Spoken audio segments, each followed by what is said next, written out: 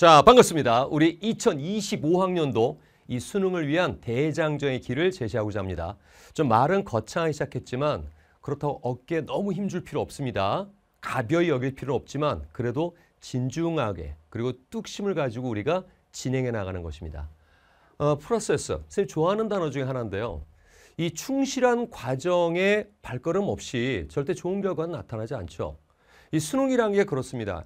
이 수능이란 결론을 향해서 가긴 하지만 이 과정이라는 부분이 결국은 도전과 보상의 균형으로 그 극복하려는 의지를 데부터 시작되지 않는가. 그리고 그것이 얼만큼 충실하고 효과적으로 진행될 것인가. 또 얼만큼 서로의 혹은 자기 스스로의 신뢰와 믿음으로 진행이 되는 것인가. 이런 게 아닌가 싶은데요.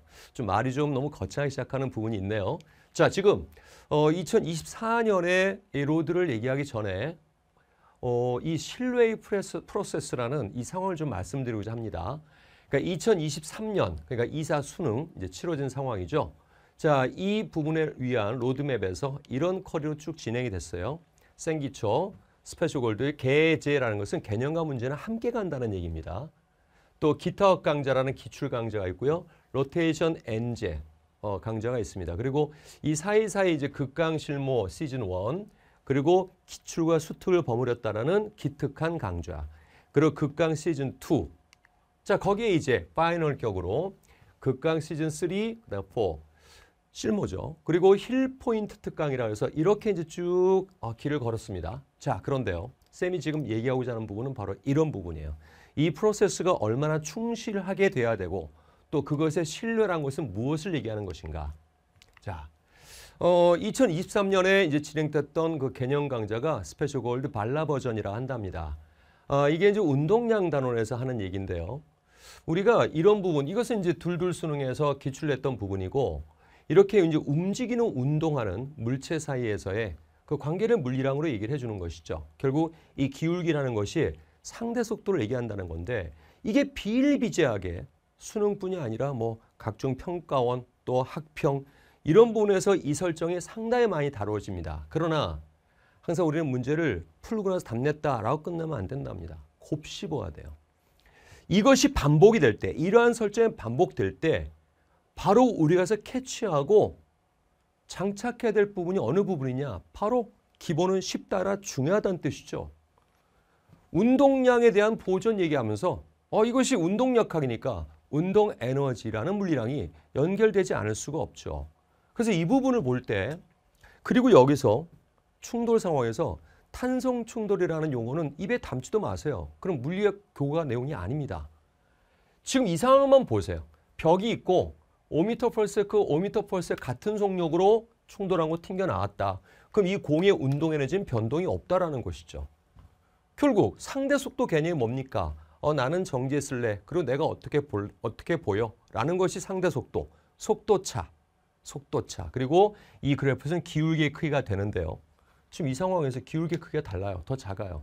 즉, 벽과의 충돌에 의해서 속력 V로 충돌했는데 그 이후에 속력이 똑같다면 0과 V의 차이가 그대로라면 운동 에너지는 그 합이 보존되는 상황인데 이 속력이 작아지면 당연히 물체 운동에진 작아지겠죠. 여기도 마찬가지예요. 이거 A가 나는 벽이야 라고 정지했다 우기는 거죠. 그리고 이 기울기가 상대수도 크기가 되는데 크기가 작아졌어요. 이거 운동 에너지가 작아지는 경우고요. 이게 기울기 똑같으면 속도 차의 크기가 같기 때문에 운동 에너지가 전체 합은 보존되는 상황이랍니다. 벽과 충돌로 그대로 보시고 운동 에너지는 함께 구성될 수밖에 없는 상황이에요. 모든 평가원 학평에 계속 진행되는 부분이랍니다. 자, 기타업에서 한 번 외쳤다고 될 일이 아니에요. 기타 기출 강좌마다 나오기 때문에 문항 속에서 계속 외칩니다. 또한 로테이션 엔제 강좌에서도 계속 외칩니다. 한 번 갖고 안 돼요. 우리가 워낙 하는 과목들이 많기 때문에 자 끝까지 외칩니다. 그래서 극강 시즌 4에 뭐 이제 그 전에도 있지만 이 막판까지도 이렇게 제시해 놓고 이건 기울기 마이너스 5, 이건 플러스 2, 그러니까 속도 체 크기가 감소했습니다. 운동이 이제 작아지는 것인데 제가 제시한 보기가 이 충돌 전후에 어, 이 운동 에너지 합이 어떻게 될 거냐? 아니 시간 없대매요. 이런 건 산수 계산하는 게 아니랍니다. 이 물리학 안에서는요. 물론 정량적 값을 묻는 경우도 있지만 정량적 값보다는 정량적인 해석, 정성적인 분석에 중심을 둬야 됩니다. 물리량의 관계와 연결해서 따지는 부분이죠. 그래서 결국 간단하게 아 속도 체크가 작아졌어. 아까 마치 벽에 충돌할 때 5m 펄스하고 충돌했는데 2로 튕겨 나와. 그럼 운동 에너지가 작아진 거예요. 손실된 겁니다. 그러므로 각 충돌에서 속도차 크게 작아지면 운도에 작아진다. 합은 감소한다. 를 얘기를 하는 부분이에요. 이거 이제 손글씨 해설지를 그대로 사진으로 실어봤는데요. 자, 결국 이 조짐이 이렇게 각종 기출에서 보였다라는 거죠. 이 조짐은 이사순위에서 현실이 됩니다. 어, 마지막 20번인데요. 지금 이 AB 같은 경우에 이 발문 설정이 나왔어. 역학제 에너지, 퍼텐 변화 없기 때문에 운동 에너지가 손실값이 없대요. 보존된대요. 이 운동 에너지 비율이 나와야 되거든요. 어떻게 나올 거냐? 결국 충돌 전에 둘의 속도 차의 크기와 충돌 후의 속도 차의 크기는 같다로 간단하게 가는 거예요. 어느 세월에 2분의 mv 제곱 더하기 2분의 mvb 이직거리 하고 있습니까? 그러자고 1년을 고생하는 게 아니죠. 이거 뭐 1이라 놓고 제로라 놓으면은 속도차 1. 이거 V라 한다면 V 플러스 1. 거기다 운동량 보존해 버리면 간단하게 속력비 나오고요. 제곱에 관련되는 운동 에너지 비율이 나온답니다. Simple is best. 반드시 여러분들 길게 주절주절 풀면 안 됩니다. 그러자고 준비가 되는 부분이 바로 신뢰의 프로세스가 이제 진행될 겁니다. 자, 그렇다면 수특이라든가 수완이라든가 이런 부분은 또 어떨 것인가? 역시 어, 한 번 더 이 커리큘럼에 어, road를 이제 꺼내 봤습니다. 이렇게 진행이 됐어요. 이때 기특, 기출과 수특을 버무린 강좌랍니다. 힐 포인트 특강에서는요. 수능 완성까지 포함이 됩니다. 그러니까 이것이 이제 보통 6평전 그리고 여기가 9평전 이렇게 이제 진행이 되는 부분인데 자 이제 수특수는 어떻게 될 것인가 봐요. 음 일단 둘둘 수능의 자기장의 중첩 문항에 18번 문항이 하나가 있어요. 그런데 23년에 발간된 수특 교재 중에 이 문항인데 제가 여기에 주목하고 여러분들에게 강조드렸던 이유가 겉모습은 둘둘 수능과 완전히 다르지만 이 둘둘 수능의 풀이 상황의 설정의 연결과 뭐 아닌 거 제끼는 부분이 있어요. 이게 플러스 방이냐 마이너스 방이냐 아닌 건 금방 제껴지는데 이건 금방 안 제껴져요.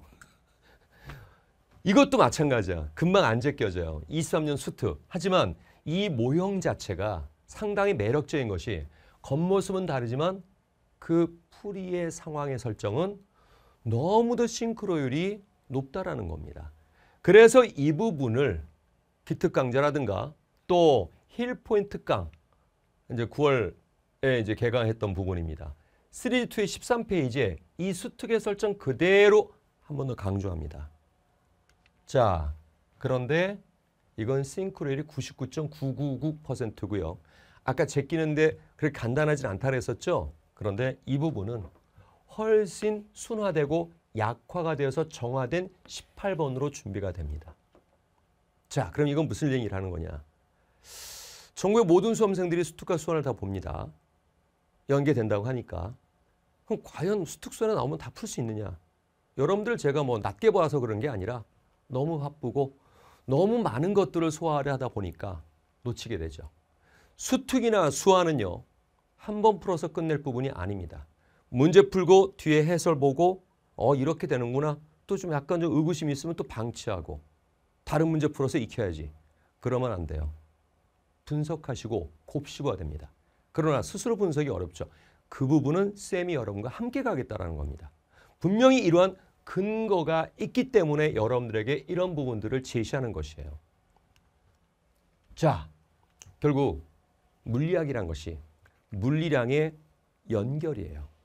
그리고 연결이 있어서 설정으로 주어지죠.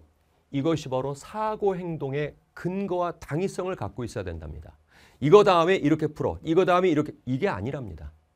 이 설정이 나온 그 근거가 정말 너무도 당연하게 우리 몸에 장착돼야 됩니다. 그 절대 풀이법의 순서라든가 이런 것이 수능장에서는 결코 적용이 안 돼요. 결국 들통나 버립니다.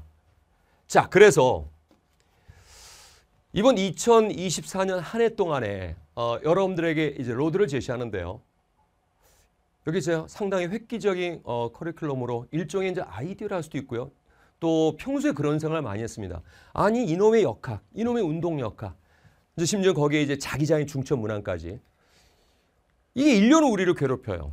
그래서 아예 1년 동안 우리가 보통 이 운동 역학을 꾸준하게 진행할 수 있는 그래서 역학 신공 강좌를 어, 새로 컨텐츠를 개발해서 여러분과 함께 진행이 됩니다. 그래서 시즌 원격으로 첫 번째로 벌써 이미 완강이 됐습니다. 어, 이번 한 해에는 상당히 이 커리큘럼에 대한 어, 순환을 좀 빨리빨리 여러분들이 어, 좀 효과적으로 진행할 수 있도록 그렇게 진행하기 위해서 부지런히 촬영을 맞춰서 이때 첫 번째 스텝은요. 말 그대로 선빵의 기술. 보통 이제 뭐 인문, 개념, 그다음에 기출, 그다음에 문제풀이 엔제, 그다음에 실전 모의고사. 이렇게 판에 박힌 것을 매번 밟긴 봤는데 열심히 하신 분들은 열심히 하죠. 결국 쫓아만 가게 되는 그런 상황이 되죠. 우리가 수능 준비하면서. 그래서 인문 강좌가 아니라 바로 역학 신공으로 먼저 열 가지 주제, 선빵을 먼저 날리자라는 거죠. 그러니까 이 운동역학의 여섯 주제가 있습니다. 그리고 열역학, 특상대성 이론, 전기력, 그리고 자기장의 중첩까지 이 10개의 주제로서 진행이 됐고요. 이 역학 첫 번째 선빵의 기술편에서는 기출과 자작 중에 기출을 좀 많이 어, 활용을 했습니다. 자, 그리고 두 번째 스텝으로는요. 어, 고수 챌린지 편이에요.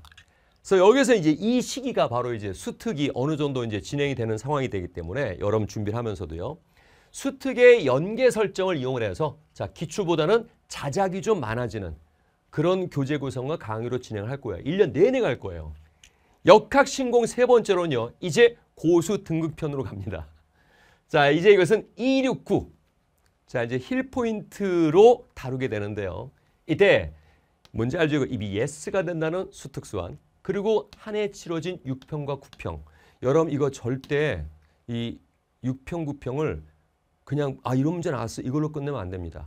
정말 그 어떤 문항의 트렌드 그러니까 이런 소재의 트렌드 이게 아니고 이 신문항 전체 구성에 대한 트렌드가 6평과 9평에 나온다는 것이고요. 특히 어, 이번에 이제 치루어진 이사 수능 같은 경우는 전체 문항 구성지에 굉장한 변별력이 확보되어 있습니다. 문항 구성에 확보되어 있는 부분이에요. 자, 물론 기본적으로 진행하는 커리큘럼은 그대로 진행되지만 물론 이제 버전들이 모두 이제 어, 바뀌는 부분이죠. 어, 빨라 버전이 있었는데 이제 2024년도에 진행될 부분은 이제 블랙 버전으로 진행을 하겠습니다. 개념 문제 함께 가는 것이에요. 그리고 생초보, 생기초, 인문, 수능적 사고편이 있고요. 그리고 기타 강좌는 이제 문항을 좀 더 보강해서 기타 600제로 진행을 하고요. 로테이션 이 엔제라는 것은 뭐냐면 이 범위 순서대로 그러니까 교과의 범위 순서대로 20개의 주제가 나와요.